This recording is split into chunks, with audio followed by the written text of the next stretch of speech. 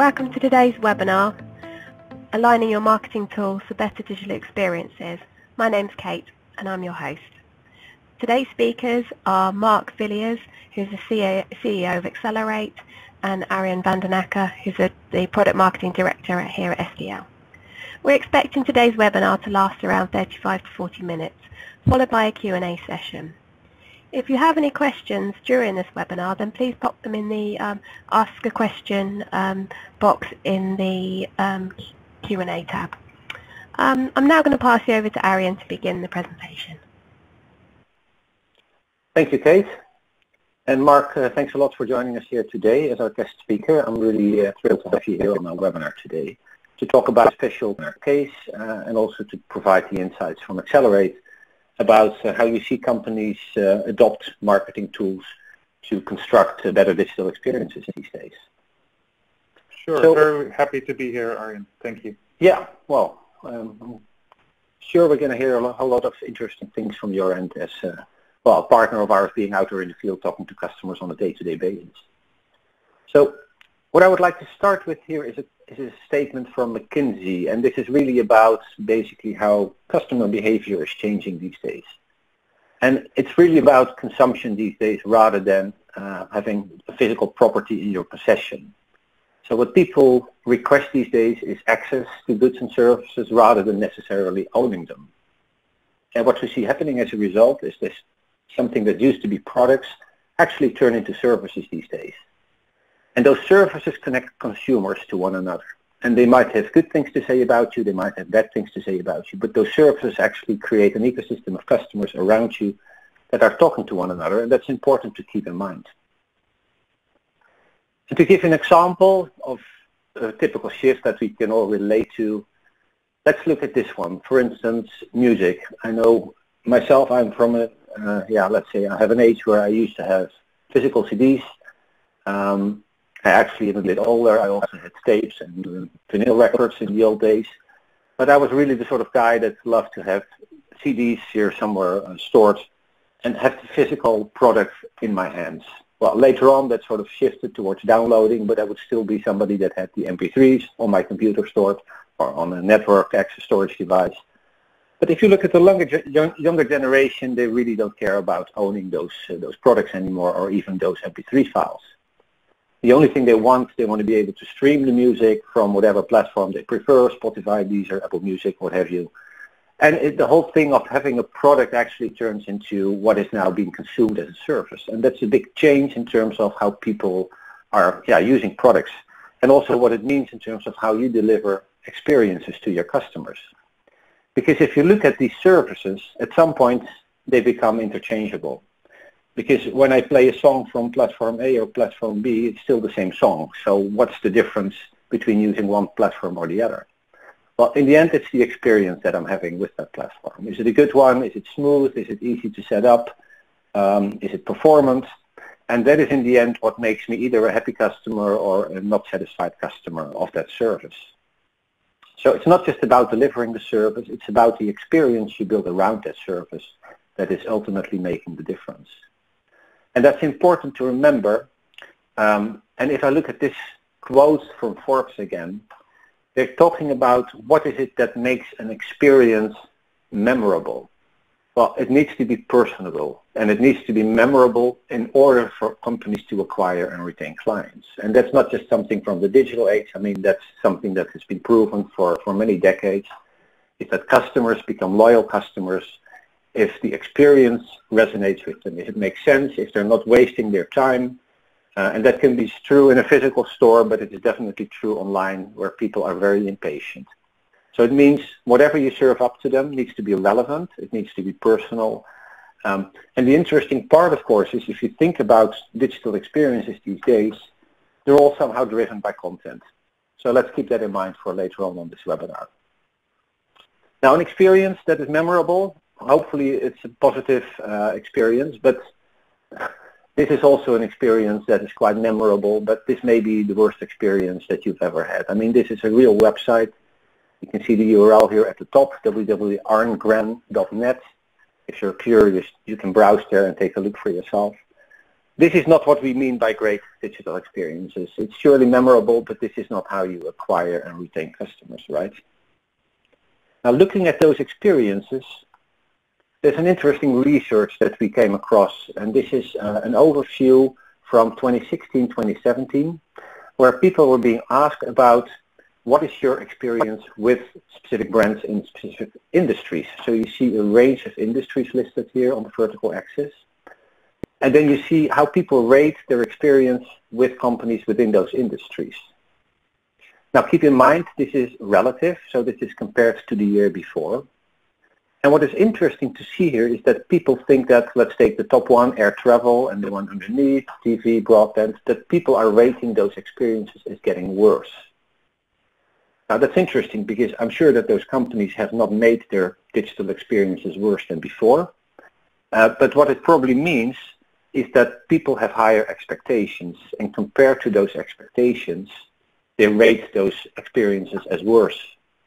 So and that is something to keep in mind. So you're not competing with, um, well, let's say the experience from last year. You're competing with the best experience that people are getting elsewhere. And we have another interesting piece of research that we uh, looked into from Forrester from 2018. It was an SDL commissioned research paper. And we saw that three quarters of customers say that brands need to meet up with the expectations set by the best digital experiences that these customers had elsewhere. So you're not competing with people in your own industry or brands in your industry. You're just competing with the best digital experiences people are having elsewhere. And that means this is a constantly evolving thing. It's a moving target and you need to work really, really hard to make sure that you continue to meet those customer expectations and those digital experience expectations that customers are having.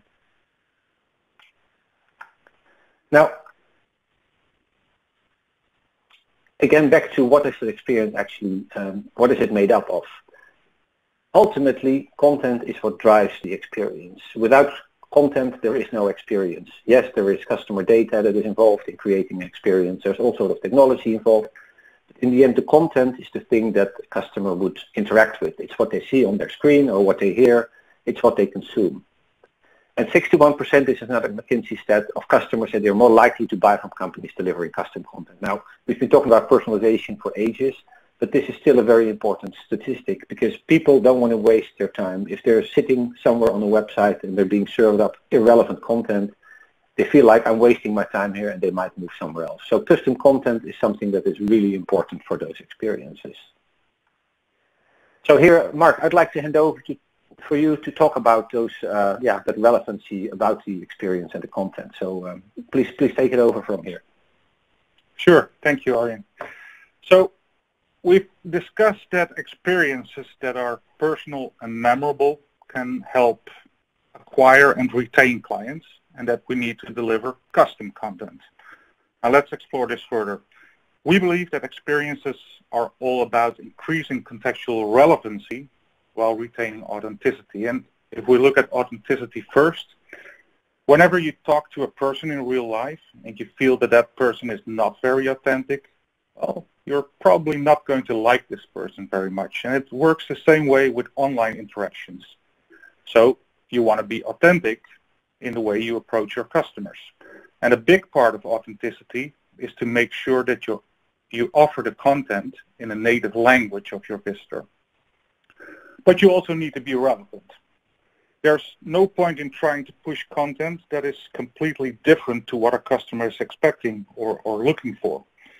But relevancy needs to go even further. It needs to be contextually relevant to a specific moment in time and to that specific visit. Now, a good example to elaborate on contextual relevancy is a hotel booking. And let's take an example from an airline that wants to upsell hotel bookings as ancillary products after a customer has booked a flight. Here's a real-life example of such a hotel description that is pushed by an airline. Now, the airline uses standard Expedia hotel descriptions in this case for their offering, and it was the hotel offering actually for when I was booking a flight to, a, uh, to Las Vegas for a conference.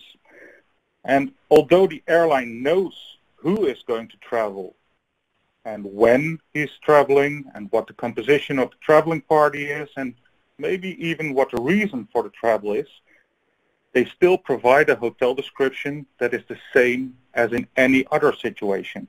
So this example is not contextually relevant. It shows me a map, but I have no idea how this is situated from the airport or any other place I know. Therefore, the map is meaningless in itself. And the first two amenities are about free self-parking and free valet parking, although I'm coming in with a taxi or, or maybe an Uber.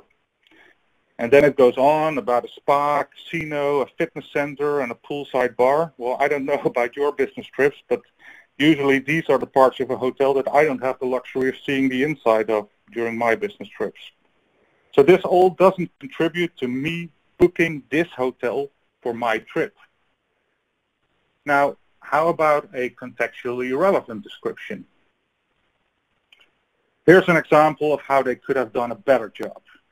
It makes more sense. It provides me a map to show where the hotel is situated from the airport. Remember, I'm traveling by plane, so the airport is my point of origin. And traveling on a business trip, I have multiple devices with me that need charging, so it provides me a specific amenity that was referenced in the reviews of the hotel. Wi-Fi is free and super fast and works everywhere, and the bedroom is full of plugs.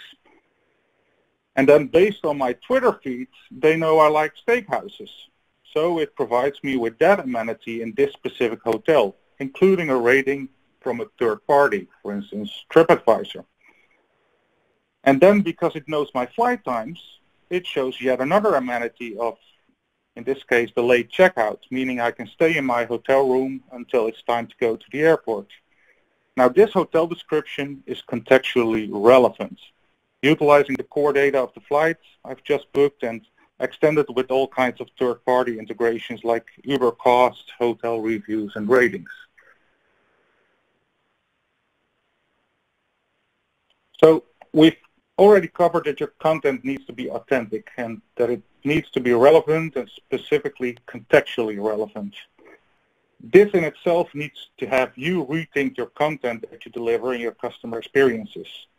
Uh, specifically making sure that all of your content reaches that contextually relevant state needs you to be constantly evaluating what data touchpoints you can integrate in your content to make it more relevant each time. But there's another one other aspect regarding the content that you need to rethink, and that is the rise of conversational UIs, uh, the chatbots and the wearables, for instance. These UIs increase the need to be very specific and to the point, because there's nothing more prone to have customers leaving than delivering non-relevant content and that you need to sit there and wait for the chatbot to tell you all kind of non-relevant content so you need to rethink how you become aware of the need of your customer and how you deliver that content to the customer in the quickest way possible. Only in that case you will fully seize the opportunity. Being able to deliver contextually relevant content in an authentic way is the core focus of what EXLRT does. Now we serve multinational companies that have a need to market locally, meaning global but with a local touch in order to achieve that authenticity. And we've been in the game for more than 20 years and serve over 20 Fortune 1000 customers. We provide strategy services with an agnostic approach to advise on a marketing technology stack consisting of best-of-breed solutions for a specific customer with a specific need. In other words, also our solutions are contextually relevant in a way. And then we are able to implement this marketing technology stack and deliver ongoing support with our operation services. One of our valued customers is Turkish Airlines. We've been serving them for several years and as you may or may not know, Turkish Airlines actually flies to the most countries of any airline in the world. And they are a gigantic hub for flights to all parts of the world. They are quickly becoming the largest airline in the world with year-over-year growth in number of passengers and revenue. And with that growth and their ambition, they invest heavily into their customer experience delivery. When Turkish Airlines started their implementation projects, their needs were not very different than any other company at that time. They also wanted to, want to go global while going local at the same time, and they also wanted to do heavy personalization in the experience they delivered. The Turkish Airlines case is an example of a company trying to reach an authentic and contextually relevant customer experience by aligning their marketing tools in such a way that they can use data touchpoints to decide what content to serve to their visitors. And their content, content stack consisted of enterprise content management, translation management for authenticity purposes, and a native personalization engine to increase relevancy. But they needed to have this at scale with over 250 websites in 120 countries in almost 30 languages. And in order to achieve this, we implemented SDL Tridion as their content hub, tightly integrated with SDL TMS for managing translations, SDL Media, Media Manager for storing images, and SDL Smart Targets for managing personalization. And after the implementation, they saw a tremendous increase in traffic and conversions.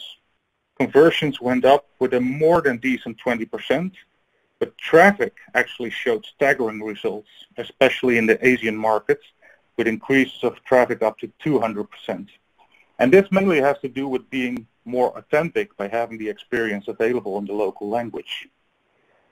And although SDL technology was a big part of their implementation, they went a step further and integrated different systems to improve the contextual relevance of their experience. Contributing to that 20% conversion increase was the data-driven personalization approach. Now, this means that they continuously combine multiple data points about a visitor out of more than 75 data touchpoints that they collect and utilize. And these data touchpoints consist of both explicit and implicit data, explicit being, for instance, your name and your birth date, and implicit data being, for instance, the region you're in and the browser you use. And by segmenting their visitors into several buyer personas based on the data touchpoints and having multiple instances of content which are triggered by these data touchpoints, they were able to personalize their content all throughout the experience. And again, this content was also translated into the visitor's native language. The Turkish Airlines implementation is a good example of aligning marketing tools for a better digital experience. Turkish Airlines created a marketing technology stack with best-of-breed tools for different aspects of that experience. And in the example on this slide, Turkish Airlines is combining CMS, DAM, and CRM data together with a personalization engine to deliver an experience suitable for different channels. In the bottom left, you can see part of the user data gathered on the visitor, and it's stored and retrieved from the CRM. And to the right, you see a functional description of the personalization engine on what is called the award ticket component. And it shows you the triggers and rules for different combinations that lead to the actual content shown to the visitor. And this content is a combination of both content coming from the CMS and assets retrieved from the digital asset management system. And for every component of their digital experience, they have defined these descriptions, enabling them to achieve better contextual relevancy. Back to you, Arjen. Yeah, thank you, Marc. Quite an interesting case here. So what, what strikes me when I look at the diagram that you were just showing is there are a lot of different systems that are being used there. And that sort of leads me into the next part of this presentation, which is really about the alignment of all those different marketing tools, which was in the title of this uh, webinar, for creating those better digital experiences. And one of the things we see across the board is that what we call interoperability is a really key theme for, for the solutions to be able to work this way. So let's explore this a little bit further. First of all, some of you may know this slide, but for those of you who are not familiar with it, you might think, well, what is this? It looks like white noise almost, but this is a slide It's created by Scott Brinker every year, and it shows all the marketing tools out there. And this is the one from 2019. It was issued in April, so it's really, really uh, brand new. And there's a staggering number of over 7,000 vendors out there, and all of the logos are on here. So I'm sure you'll have to zoom in quite drastically to see which vendors are where. But you see they're sort of split across columns, marketing automation, content, analytics, e-commerce, etc. And within those, there's all these different vendors that have some sort of marketing technology product that you might want to deploy in your own environment. Now, clearly, this is a staggering number, and at the same time, we also see it grow year after year. I'm not sure what the number exactly was last year, but we see almost see a thousand new names appear over a period of one year. And of course, names drop off, or vendors are being acquired. So actually, the, the number of new entrants is even higher than that. Now, this is quite an interesting slide to look at just to understand the scope of the, um, the marketing technology ecosystem out there. Um, but what does that mean in terms of how you implement your marketing technology stack? Now, to, to figure that out, um, we worked with Digital Clarity Group last year, and they conducted a piece of research where they were looking into buyer trends, preferences, and strategies for organizations in terms of how they are buying DXP technology, digital experience platform technology. Do they follow a suite approach? Would they like to buy something from a single vendor because it's all, it looks in the demo at least, it's all connected? Or are they pursuing a strategy where they buy individual tools and then they stitch them together, either through a partner or maybe they have IT in-house that can do so? And it turns out that the majority of organizations are actually following that approach, which is called by Digital Clarity Group a heterogeneous approach. So it means they buy best-of-breed technology from multiple vendors and then they stitch them together somehow. And um, they also ask them, so what is the key reason that you prefer to work with these best-of-breed software vendors rather than buying it all from a single vendor? And what you can see here is the top reason uh, being uh, shown here with 55% is people say, say, well, this market, this digital experience market, it's so, it's so fast and it's so rapidly changing it's unrealistic for any sort of vendor to provide a single platform that can do everything for us. So there's no other option for us but to go out and buy technology from multiple vendors. Uh, that's the only viable option. And the second one also, we don't believe any single vendor has all the solutions we need at the level of quality and support that we require. So that means it looks like in order to build an ecosystem of technology that works together, you almost have to, there's, there's no way around going for a heterogeneous approach. You might still have multiple tools from a single vendor, but there are always going to be other technologies from other vendors in that same ecosystem. At the same time, it's also a good thing if you think about it from a vendor lock-in perspective, that you're not relying on a single vendor to provide all the technology. And then if one of the components doesn't suit your needs, you're stuck with that vendor because it's proprietary or you're locked in. So it's also from that perspective a good way to think about uh, getting technology from multiple vendors and then integrating them. And this is an interesting quote from one of the companies that Digital Clarity Group interviewed for this uh, report. And one of the people interviewed said, well, if the enterprise platform vendors have their way, they will be the Uber DXP.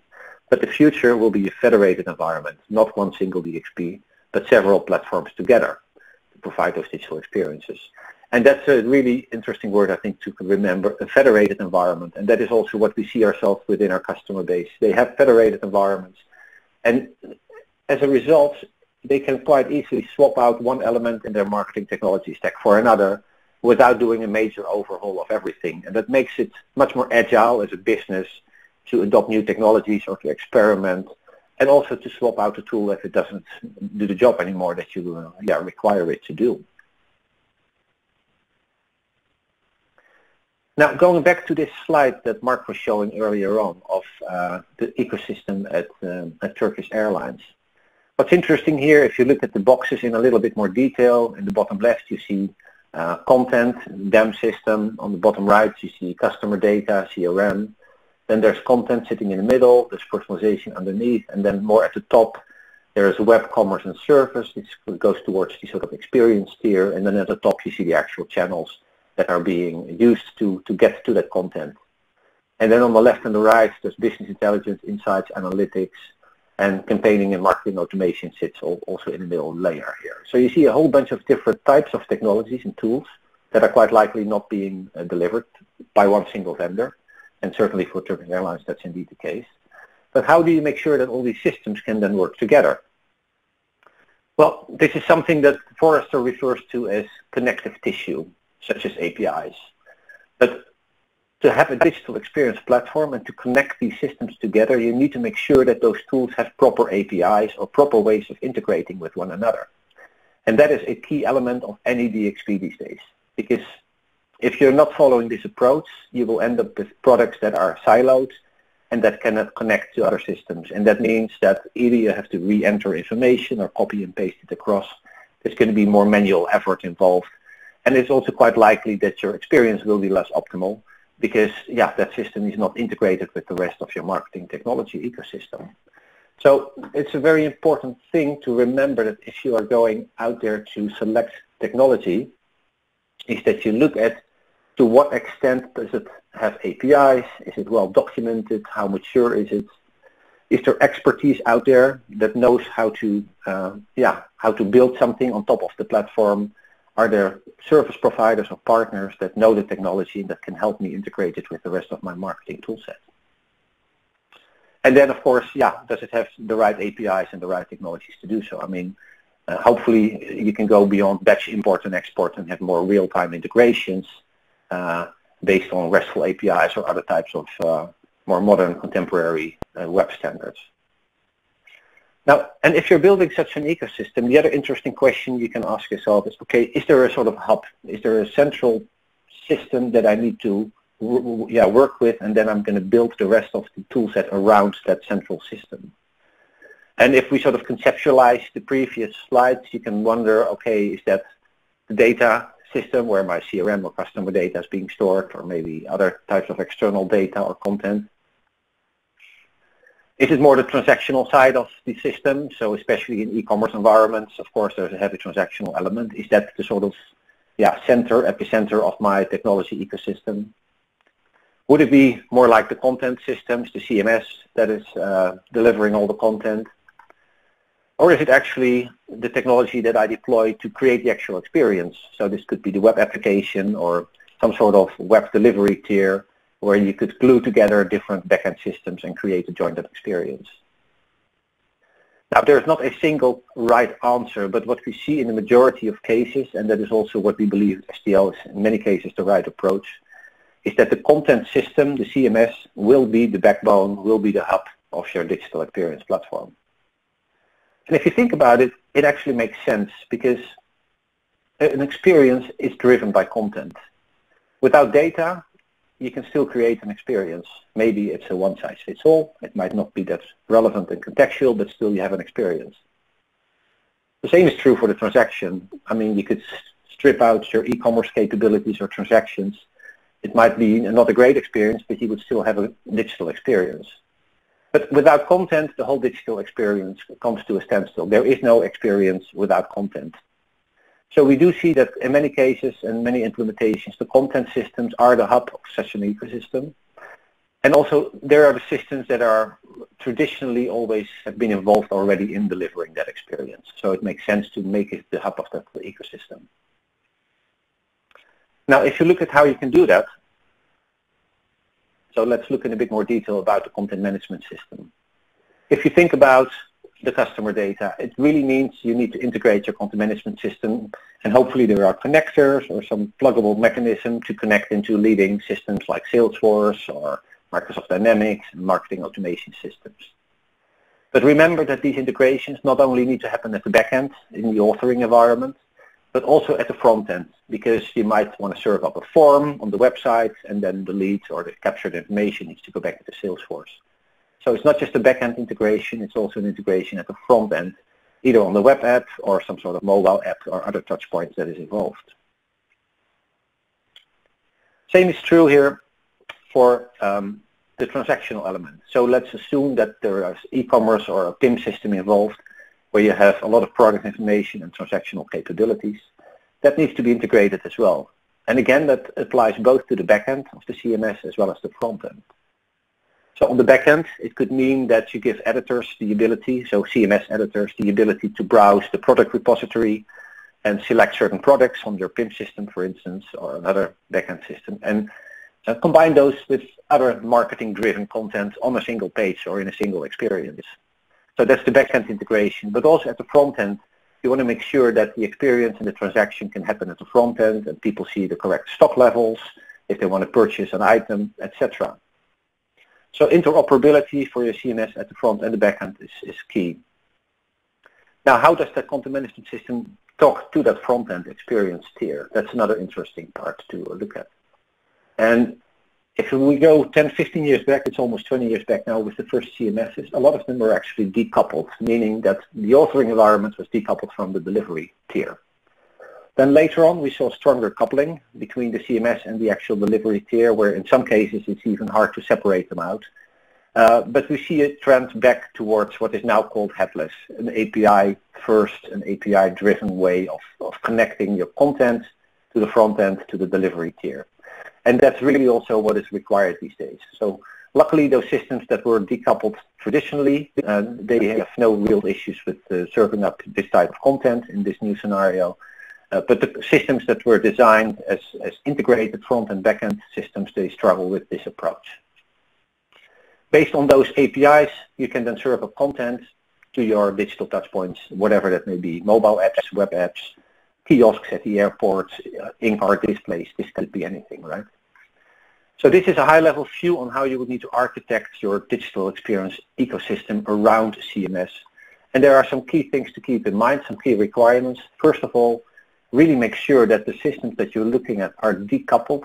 So tightly coupled CMSs are not the right way to go. And that they have proper CMSs at the, sorry, uh, APIs, both at the backend and the front end. And the other key requirements you need to look into which you might actually overlook initially if you don't think about it, is what is the speed of those APIs? Because we started this webinar talking about contextual relevance. And in order to serve up a relevant experience, you need to have a sort of real-time response to what somebody's doing on your website or in a mobile app. So that means if you capture data points and you need to process what is the next best piece of information to show to the customer, that needs to happen in an instant, in milliseconds.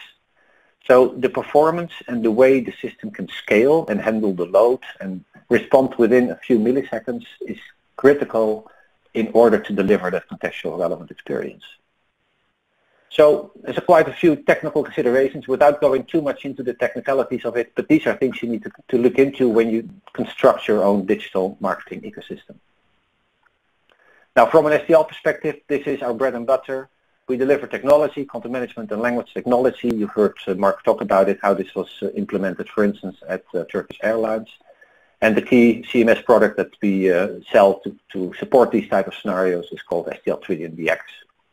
And you see that we are serving a lot of the larger enterprises around the globe. Uh, 90 out of the top 100 brands use one or multiple products from SDL. So by all means, if these scenarios make sense to you and this is the sort of challenges that you're dealing with, you can definitely work with EXLRT and SDL to yeah, engage with us to see how we can help you solve those problems. Now this is all actually happening today, but I think Marc, it would be interesting to take a brief look into the future as well. So um, if you want to enlighten us what you expect is going to happen in the future, that would be really great. Yeah, if only I had a glass bowl. Uh, so yeah, we've talked about examples of good and bad customer experiences and how an organization like Turkish Airlines is trying to achieve a better customer experience in the present. And you already took us to the future uh, where we said it's all going to federated environments. But what about the future of the experiences? Well, to us, the future of experiences is real-time translation and real-time localization now, these are both needed to leverage the authenticity part. It's about real-time personalization needed to increase relevancy, but it is also about real-time generation, generation of content. What will be happening is that content will be able to generate itself in real time. And This is a concept that has been part of the five future states of content that SDL talked about last year. And if you haven't read it, I definitely can recommend the ebook. I believe it's in the uh, in the links to this webinar. So be ready to uh, to download your copy of it. Making the experience real time will be the ultimate way of delivering an authentic and relevant experience with context as the main focus. As the content is not being created upfront, it can adapt to the actual context of the current visit and this will help converting the visitor into a customer. And real-time content generation is not only a vague idea, it's something that is already experimented with by, for instance, EXLRT. And we already have working demos, for instance, for the example of the hotel description, which was shown by me earlier in this webinar, where the content is generated on the fly based on the context of the flight that was booked. Utilizing real-time principles will dictate a different approach to personalization. And if we go back to the present, currently we use persona-based personalization, which means we define criteria and we categorize visitors in one of many defined personas. And then for each persona, we have pre-authored content uh, consisting of images, greetings, products and services, and so on. And based on the persona, we will serve the content that we define as the best fit for that persona. But personalization will grow to the next level. If we abandon pre-authored content and use content generation in real time while incorporating real personal characteristics of the visitor. And there are already examples where IBM Watson, for instance, is able to identify characteristics of persons and organizations like you see displayed here on this slide.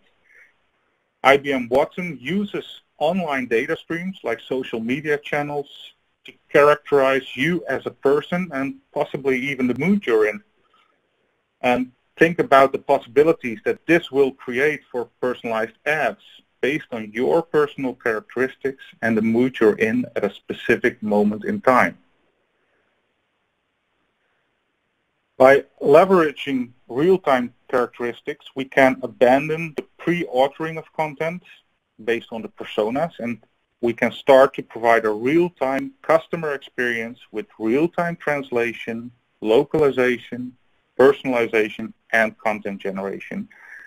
And AI will be the driver of combining the real-time data with the products and services that we want to promote. And then if you feed back the journey analytics back into the AI engine in order to self-improve, you will start to create even better content the next time around. And I would say that is enough food for thought for now. Well, thanks, Marc. That's indeed uh, plenty of food for thought.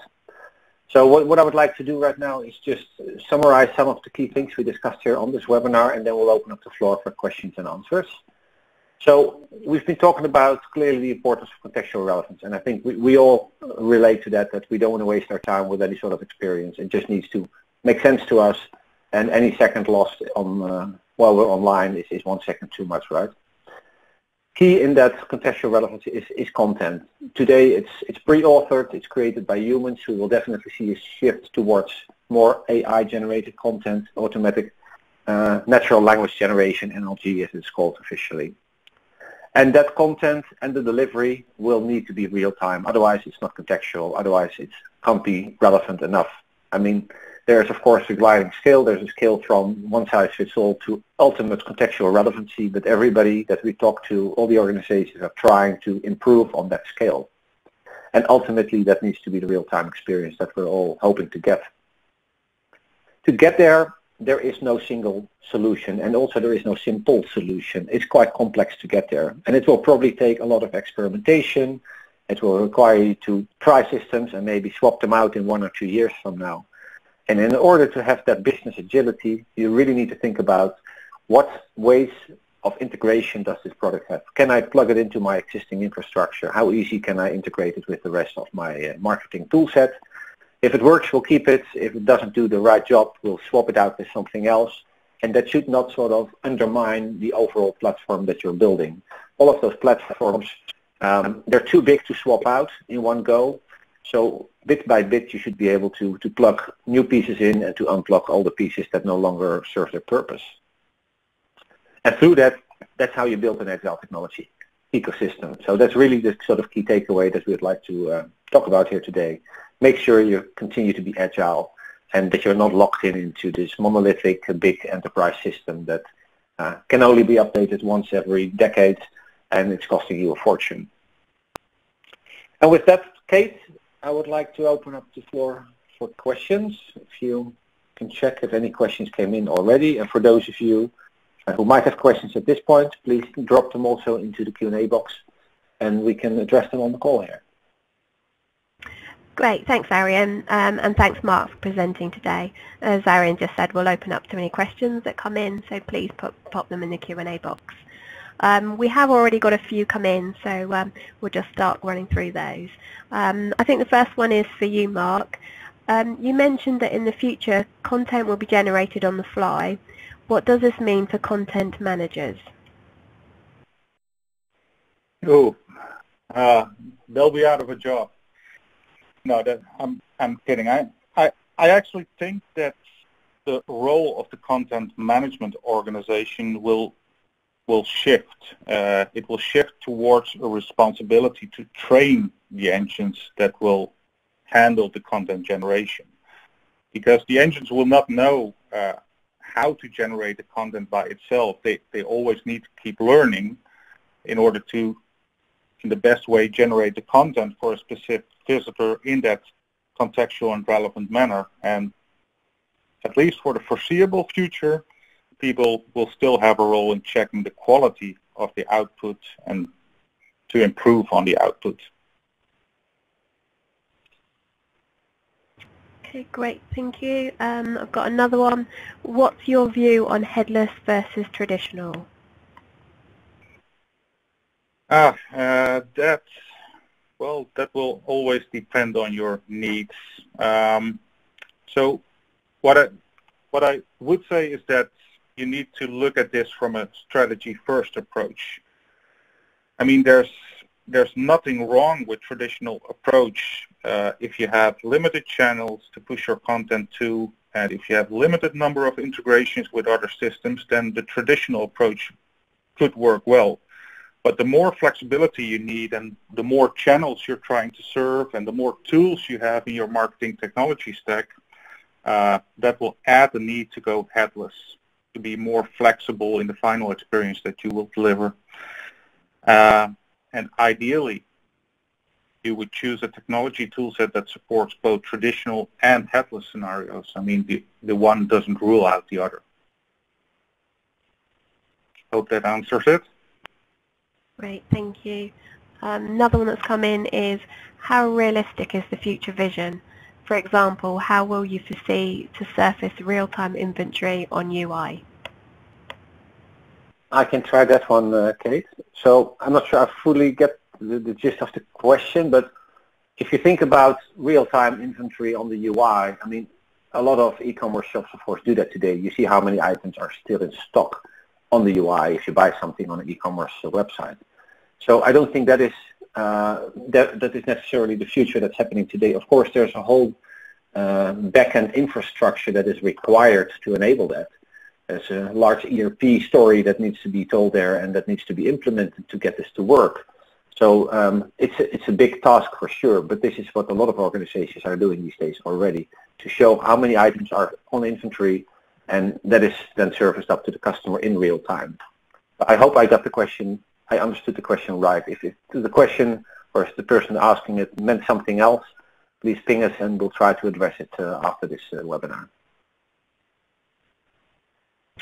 Okay, another question that's come in is if the content is generated on real time, every time it can deliver different versions of the same content based on contextual relevancy and authenticity, how will you validate the content before delivery? Yeah, you you wouldn't, uh, but you also wouldn't uh, uh, go in this blind. I mean, the whole process to go to automatic content generation is by training the engine. Uh, and this takes thousands, tens of thousands of pieces of content. For instance, in the hotel description, you would feed it enormous amounts of hotel descriptions to be absolutely sure that it understands what it needs to produce. And then when you have a, a, a satisfied feeling about the quality of the content generation, that's the moment that you would go online with uh, with such a technology. Yeah, Marc, it's actually quite an interesting. Yeah, it's an interesting question because I think we see that, of course, across the board with applications of AI. I mean, cameras these days have facial recognition. We, we see all these sort of new use cases emerge for AI. And every time now and then you see also the worst applications of AI where AI makes the wrong decision and you get into a very compromising situation or something else. So I don't think the process will ever be flawless because the computer in the end, the response that you're getting, it's as good as the data that you put it put in at the front. Uh, there's definitely a lot of testing that's going on. Uh, but I think in some cases the machine will get it wrong Ideally, what you would at least have for your customers is to have the ability to provide feedback so that you can train the system better and learn from your mistakes. Uh, but with any AI implementation, this is indeed an issue that you will need to think about. How can we train it? How can we test it? How can we create a feedback loop that solves the issue in the long run? Yeah, absolutely. And, and even to add on top of that, you wouldn't immediately use content generation for all of your content on your website. I think the technology is starting to be able to uh, to support micro content, so small pieces of specific content. And the smaller the piece of content is, the smaller the error margin is that you would get. And over the years, this technology will absolutely evolve making it also applicable to larger pieces of content. Yeah, and that's an interesting topic, by the way, because the smaller pieces of content are also easier to translate by the machine with less errors. Uh, we, especially with neural machine translation, we've seen a lot of improvements over the last couple of years in terms of the quality of the output. So um, it's not just about the generation of that content, it's also about the automated translation of that content by neural machine translation. Uh, but I think we're heading in a direction where some of it might still be a bit early days, but a lot of this technology is maturing really, really fast. And within a few years from now, everybody will think it's quite normal for a machine to generate content, whereas right now we might still think it's a bit far-fetched, but it's not. It's happening today, and we'll see a lot more of that happening in the next couple of years. Okay, Kate, maybe any other questions? Let's yeah, we've just We've got a couple more that have just come in as well. How can I implement the principles like contextual relevancy, interoperability, and real time? Okay, well, let me take that. Um, the the principles in itself are not a are not a goal in itself, and like discussed during the webinar, you have to rethink your content. So first, you need to understand where you can actually deliver a better experience and then you need to understand how you'll be able to deliver that experience. And maybe you need to get data from different systems or you need to deliver your experience through different channels. If you understand what you need to do, you'll then evaluate the tools that will help you. And if you if you uh, uh, uphold the key principles like uh, like Arjen discussed, then that will help you implement this over time.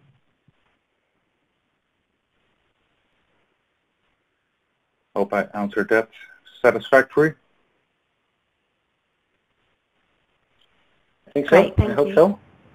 Yep, I think so. Um, and looks like we've just got one final question. When you mention interoperability, what exactly do you mean by that? Okay, well, I'll take that one because I've been talking about it uh, extensively here. So I mean, interoperability in, in, general, of course, it's the notion of systems are able to communicate and to talk to one another.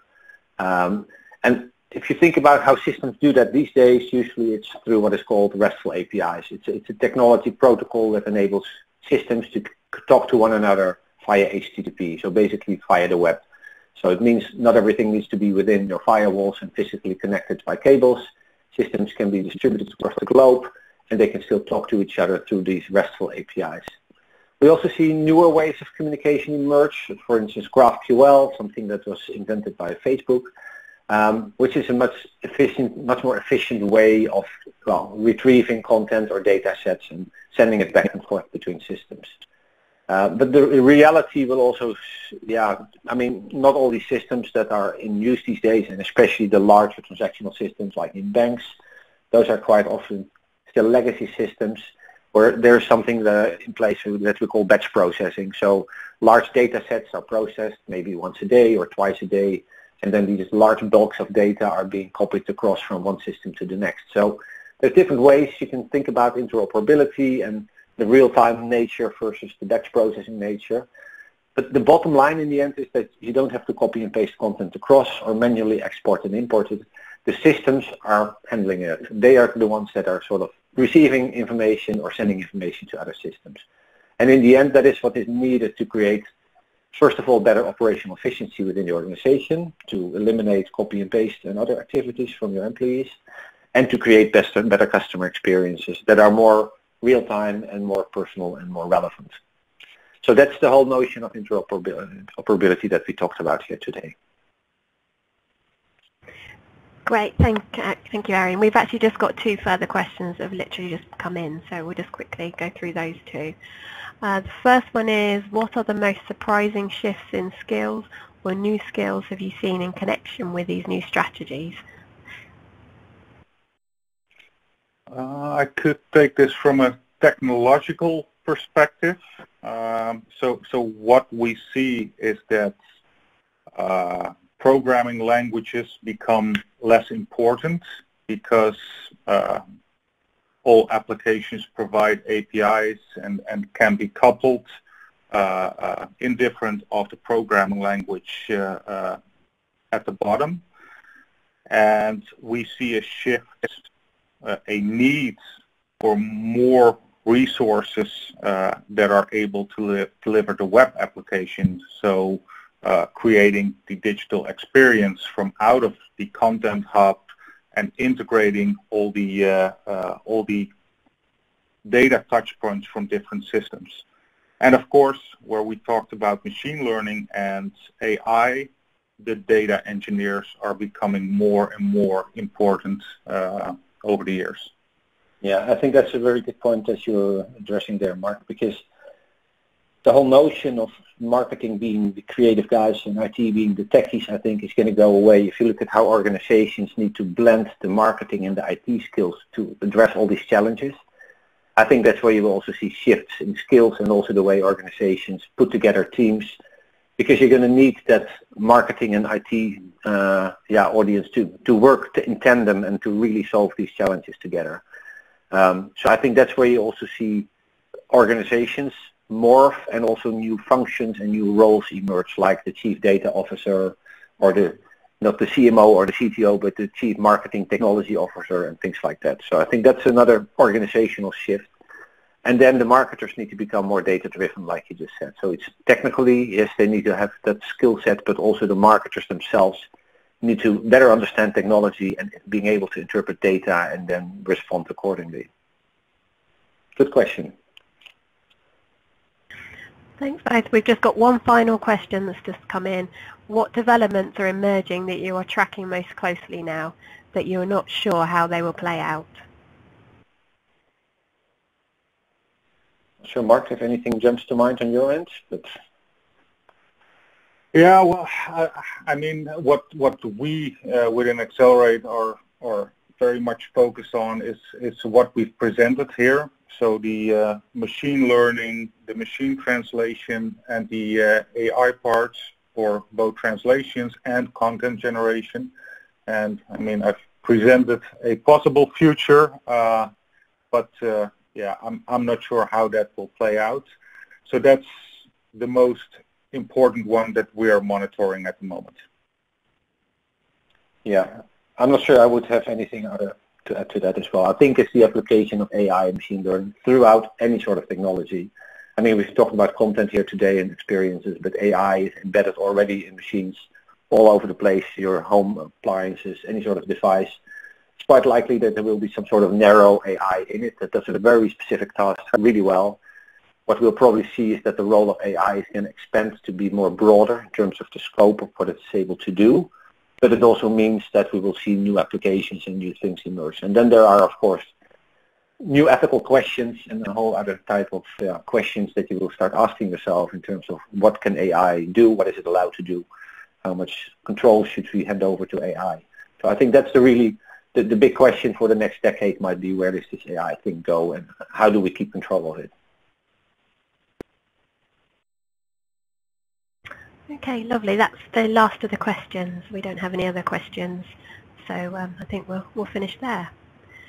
So um, thanks everybody for attending the webinar. Um, don't forget to visit the attachments and links sections for more information and some useful um, links. Um, the recording will be available here on BrightTalk straight after the webinar, but we'll also be sending a copy to everyone who's registered. We hope you found today's session useful and we look forward to welcoming you again to one of our next webinars. Just have a great rest of day. Thank you everybody.